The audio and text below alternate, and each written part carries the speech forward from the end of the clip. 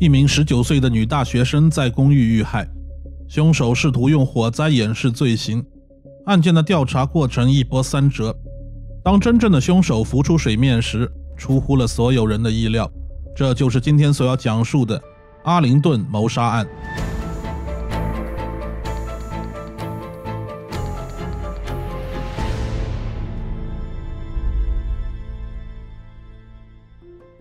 阿灵顿位于德克萨斯州东北部，是达拉斯沃斯堡阿灵顿都会区的一部分，距离州府奥斯汀约三百二十公里，人口约四十万人。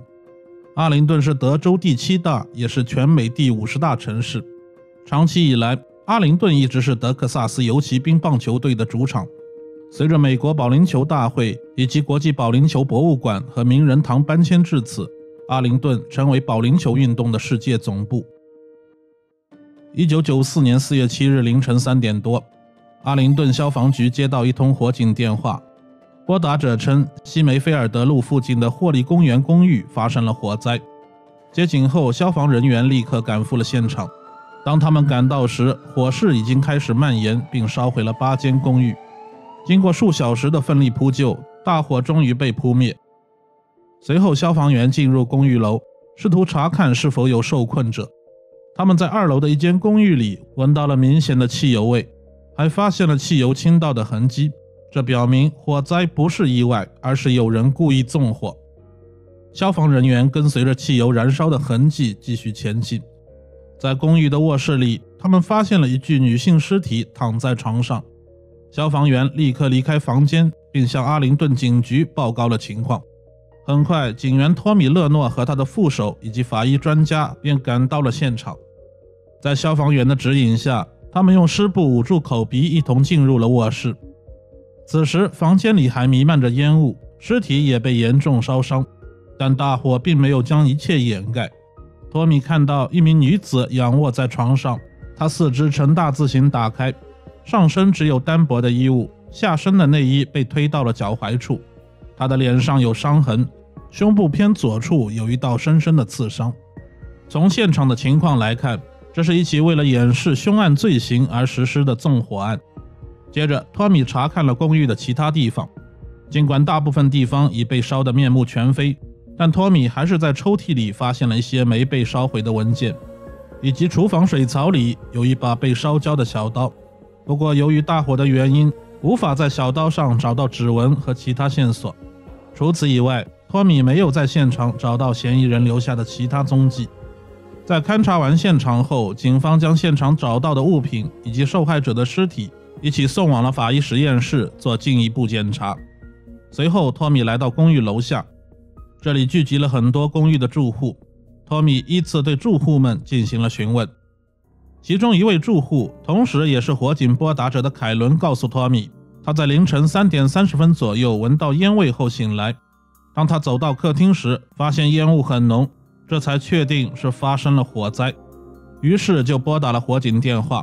然后他走出门，挨家挨户的敲门，让大家一起走楼梯下楼避难。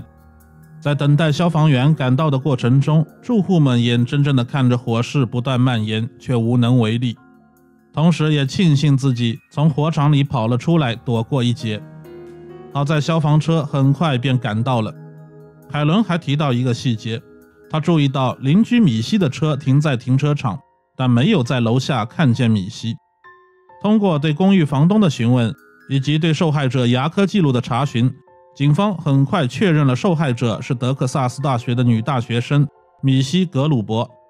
为了了解更多关于米西的信息，以及向米西家属告知情况，托米来到米西母亲所居住的卡尔德威，这里距离阿灵顿约三百公里。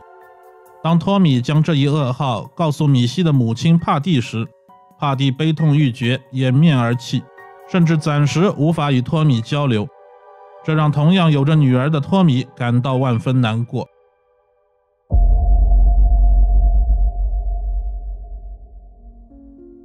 帕蒂在情绪稍微平复后，与托米进行了交谈，在这一过程中，托米了解到。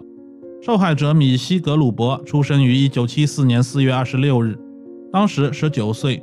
她是一个诚实纯洁的女孩，同时也是一位虔诚的基督徒。米西具有良好的品德修养，对待人和事都善恶分明，并且对自己要求严格。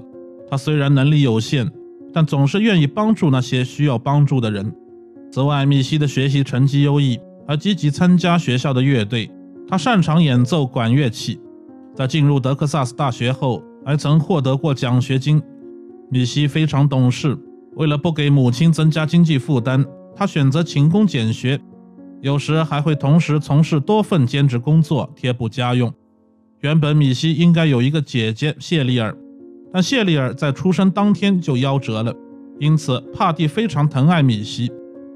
另一方面，帕蒂和丈夫托尼很早就离婚了，是帕蒂一个人将米西抚养长大的。母女两人的感情非常好，即使米西工作到很晚，她也会打电话给母亲。帕蒂无法想象有谁会不喜欢米西，更不用说用如此残忍的方式对待他。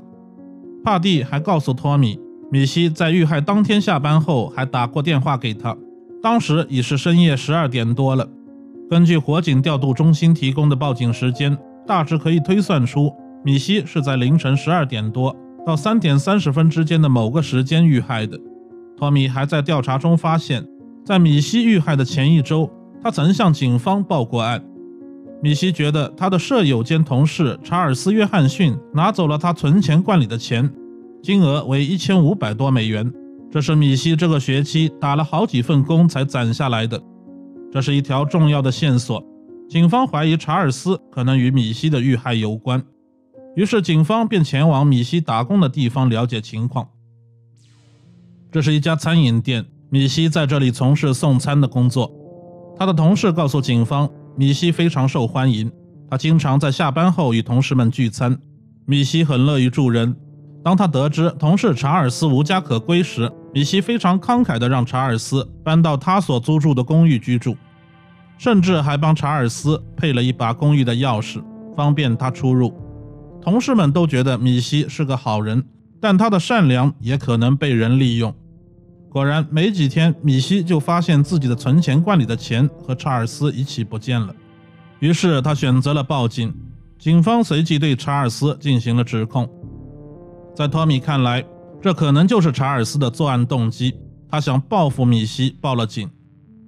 但是要找到一个无家可归、居无定所的人，并非易事。与此同时，米西的验尸报告出来了。报告显示，米西的肺部没有吸入烟雾。血液化验也没有发现一氧化碳含量过高，这说明他在火灾发生前就已经死亡。米西的左眼角有淤伤，眉脊也有一处伤痕，这是用拳头或其他物体击打所造成的伤害。米西的死因是左胸的刺伤，看起来凶手试图刺中心脏，却刺伤了米西的左肺。法医还对米西进行了侵犯测试，测试结果为米西曾遭到侵犯。虽然尸体烧伤严重，难以获得更多线索，但米西体内嫌疑人的体液被完好的保留下来。托米和其他调查员经过讨论，决定暂时不公开米西被侵犯的事实。另外，警方从公寓收集的文件中发现了几封米西的私人信件，其中的一封信件引起了警方的注意。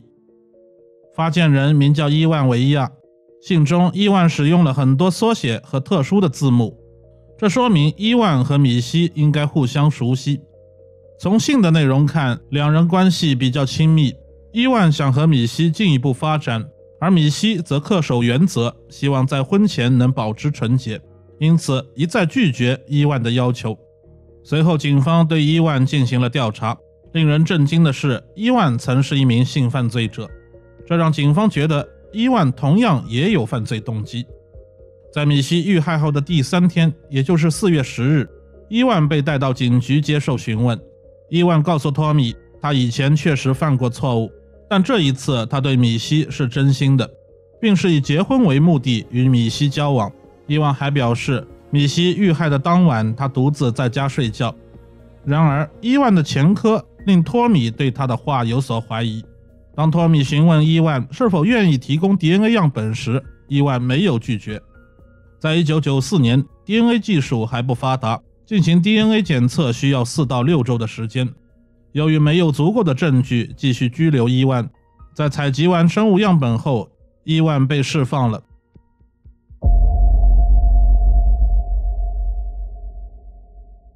在等待 DNA 检测结果的过程中，寻找米西的室友兼同事查尔斯的工作还在继续。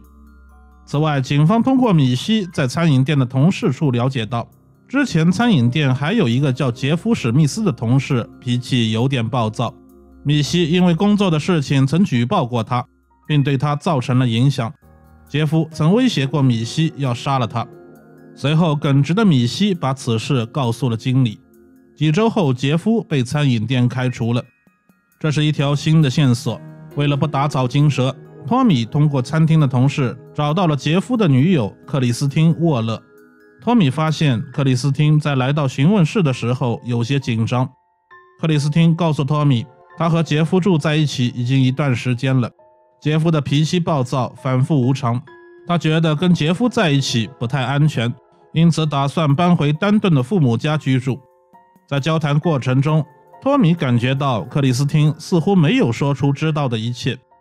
当托米进一步询问他是否有所隐瞒时，克里斯汀犹豫片刻后表示，他有些怀疑杰夫可能就是杀害米西的凶手，因为在米西遇害当晚，杰夫整晚都没有回来。克里斯汀也曾听说过杰夫和米西有过节。当他得知米西遇害后，他认为杰夫有很大的嫌疑，这才是他搬家的真正原因。克里斯汀将杰夫的地址和电话告诉了托米。在结束询问后，托米给杰夫打了电话。有些意外的是，杰夫非常合作。他很快来到警局接受询问。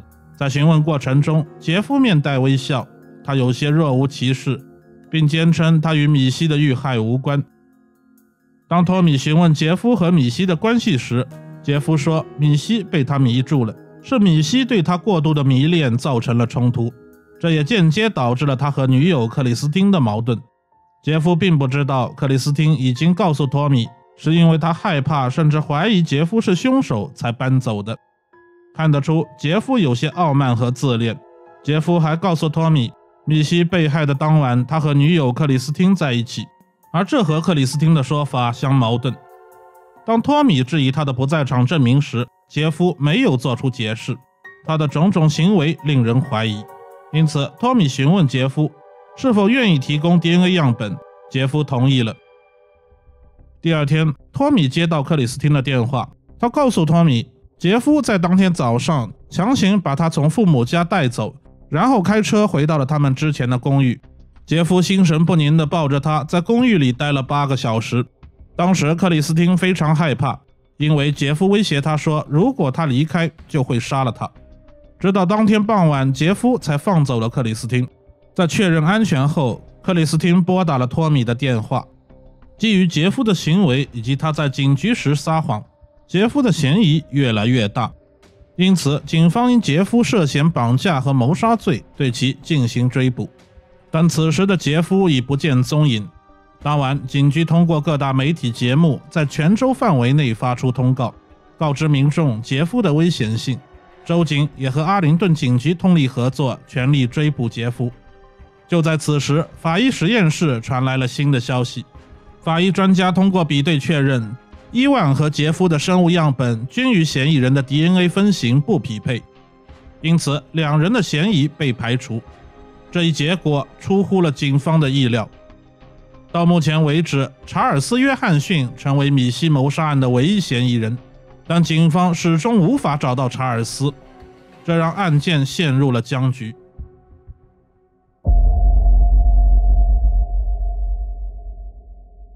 正当警方相信只要找到查尔斯，这个案件就有可能解决时，情况发生了转变。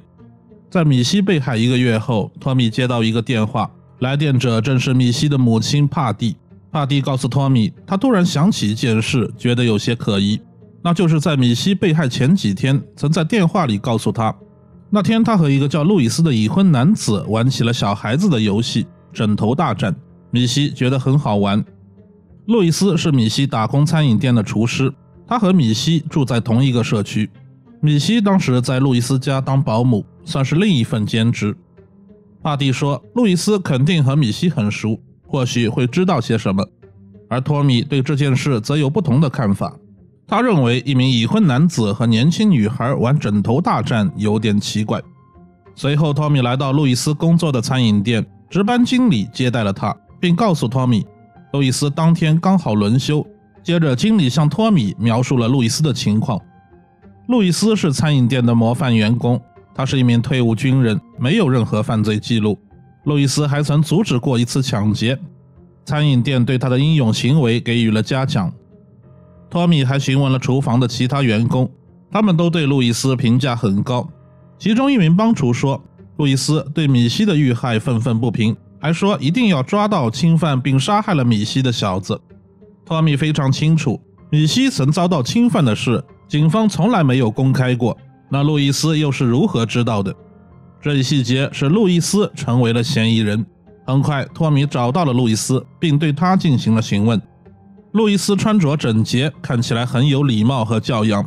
他告诉托米，米西算是他的同事，但他在厨房工作，而米西则是个送餐员，平时很少见面，只有在聚餐时才会聊几句。他对米西的印象很好，米西还当过他孩子的保姆。托米告诉路易斯，之前通过 DNA 分型检测排除了两名嫌疑人，并希望路易斯也可以提供生物样本。路易斯听完，脸色有些难看，他疑惑地问道：“现场不是都烧毁了吗？”托米说：“并没有，法医实验室找到了重要的证据。”路易斯开始变得焦躁不安，从他脸上可以看出他的情绪变化，他的态度发生了转变，并且不愿意回答任何问题。他提出要离开警局。离开前，托米再次问他是否愿意提供生物样本。路易斯还是没有回答，只是一直在重复一句话：“我要离开这里，周一再来。”尽管他的行为很异常，但警方确实没有合理的拘留他的理由，只得释放了路易斯。然而，到了周一，路易斯并没有出现。当天晚上，托米给路易斯打了电话，他说周二会给托米回复。然后又推到了周三，从周三以后，路易斯就再也没有露过面，打电话也无人接听。于是托米打电话给餐饮店，餐饮店经理告诉托米，路易斯的妻子珍妮特打来电话请假，说路易斯要离开小镇一段时间。为了以防万一，托米来到路易斯的住所，但路易斯不在家。托米与珍妮特进行了交谈，珍妮特说，她和路易斯结婚已经有两年多了。婚后不久，他们就有了第一个孩子。现在她又怀有七个月的身孕。他们是在半年前搬进霍利公园公寓的。珍妮特还说，米西是个称职的保姆，她善良诚实，她和丈夫都很喜欢米西。随后，托米切入正题，询问米西被害当晚路易斯的行踪。珍妮特说，路易斯当晚十点三十分左右下班，下班之后和同事们聚餐，喝了几杯。他大约是在凌晨十二点回到家的，回来之后没多久，他又出门了。大约两个小时后，路易斯又回到了家，但他洗了个澡后又离开了。过了一会儿，他又再次回家，也就是说，路易斯在下班回家后出过两次门。珍妮特记得，路易斯第二次回家的时候，她被丈夫的咳嗽声吵醒，并闻到了一股烟味。路易斯的解释是，他出门慢跑。然后看到一间公寓起火了，他赶紧进去看看，发现床上躺的是米西。他试图为米西做人工呼吸，但烟雾太大，他离开了房间。托米感到很奇怪，他们在事发后没有拨打报警电话，这是难以理解的。就算是陌生人，应该也会报警。珍妮特说，当时他并没有多想，他认为警方会处理的。随后，托米搜查了路易斯的家。路易斯家所住的公寓楼距离米西的家很近。托米在搜查过程中找到了路易斯服役时的身份牌，从身份牌可以查询他的血型与米西体内发现体液的血型一致。此外，托米还找到了一些毛发和其他生物样本。经过检测确认，这些样本同样和嫌疑人的生物样本相匹配。现在，路易斯·阿罗约成为了最重要的嫌疑人。而此时，他早已逃离了阿灵顿。托米申请了逮捕令，并通过媒体公布了这一信息。第二天，警方就获得了新的线索：路易斯的车在圣安东尼奥被发现。被发现时，车辆已经是被烧毁的状态。托米再次找到珍妮特，他觉得珍妮特可能知道路易斯的下落。珍妮特一开始很紧张，也很戒备，但当托米告诉他米西曾被侵犯时，珍妮特不可置信地看着托米，他看上去很生气，也很难过。珍妮特沉默良久之后，决定不再隐瞒，他说出了路易斯在圣安东尼奥的藏身地点。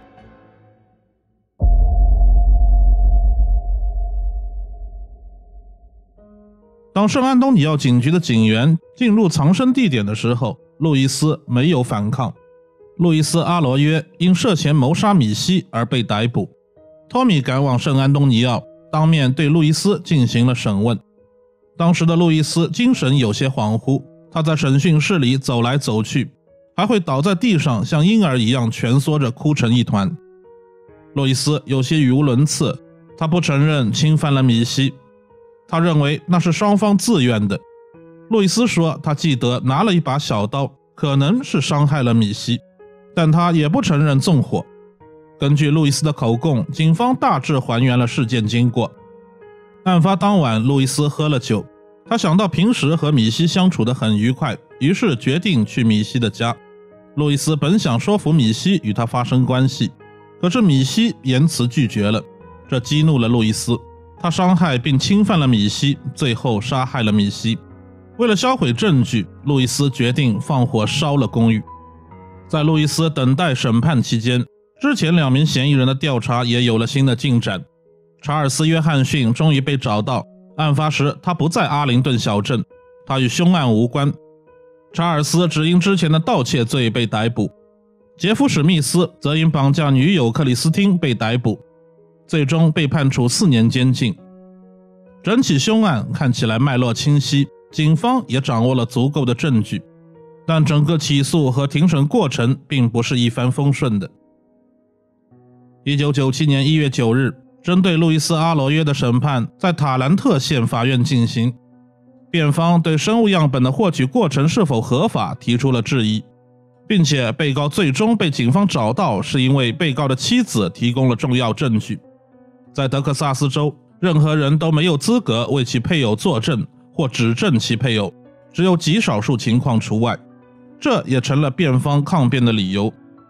尽管如此，陪审团还是做出了一致的裁决：路易斯·阿罗耶的一级谋杀罪罪名成立，他最终被判处终身监禁，不得假释。一起凶案的破获看起来像是一次胜利。然而，这无法治愈受害者家人失去亲人的痛苦。米西·格鲁伯被安葬在德克萨斯州塔兰特沃斯堡劳雷尔纪念公园。他的母亲帕特经常去看望他。